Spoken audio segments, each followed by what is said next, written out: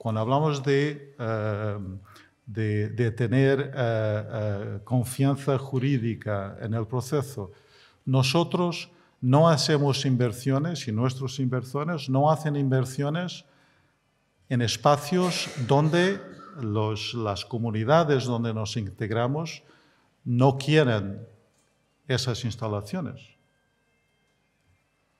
Hoy, en todas las ubicaciones que, tenemos, tenemos integración total con las comunidades que nos acogen. Tenemos relaciones excelentes con las comunidades que nos acogen.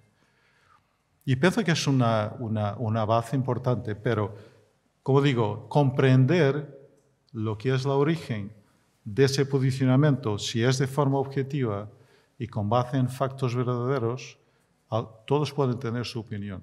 Y eso es perfectamente natural y vivimos en un, en un, en un estadio de, democrático. Tenemos normas y tenemos leyes.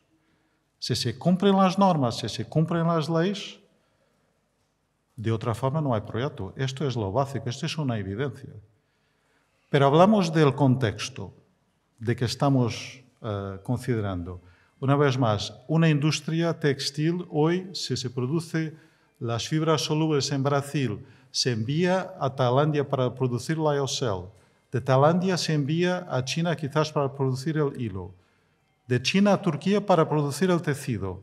Y de Turquía vuelve al norte de Portugal o a España para producir la prenda. Esto que me digan que es sostenible, yo no lo creo. Yo no lo creo.